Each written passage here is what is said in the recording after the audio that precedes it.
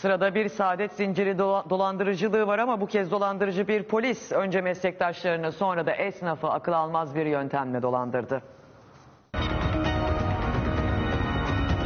Tuzak kurdular bize var diye gösterdiler. Sonraki bütün araçların hepsi hayaliydi. Ağır hasarlı araçları alıp satıyoruz dedi. İddiaya göre saadet zinciri kurdu. 50 milyonluk vurgun yaptı. Üstelik bunu yapan bir polisti. Ya benim bildiğim şu anda benim çevremde yaklaşık 9-10 milyon lira para götürmüşler. İstanbul Emniyetinde çalışan bir komiser, PERT denilen ağır hasarlı araçları alıp sattığını söyleyerek onlarca polisten para topladı. Kar vaadiyle bize olmayan arabaları satıyorlardı. Kar vaadiyle ağını genişleten komiser, emlakçı bir arkadaşıyla Laleli esnafından da para aldı. Benim şu anda bildiğim 20 kişiye yakın var. Emniyet içinde de çok dolandırılan polis memurları var. Emekli emniyet müdürü var. Bir tane normal emniyet müdürü var. Önce kar payı dağıtan komiser bir süre sonra telefonlara çıkmaz oldu. Bir dönem sonra bu işin ben sade zinciri gibi olduğunu anladım. İddiaya göre komiser aralarında aktif müdürlerin de bulunduğu yüzlerce kişiden 50 milyon lira topladı. Yaklaşık 50-60 kişi var bu olayda. 70-80 milyon lira diye bir para